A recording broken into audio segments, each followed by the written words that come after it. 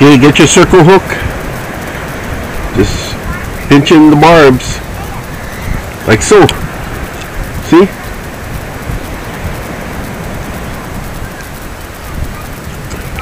Done. See how fast that was? This way, if you accidentally hook a protected species like a turtle or a seal, the hook should come right out again.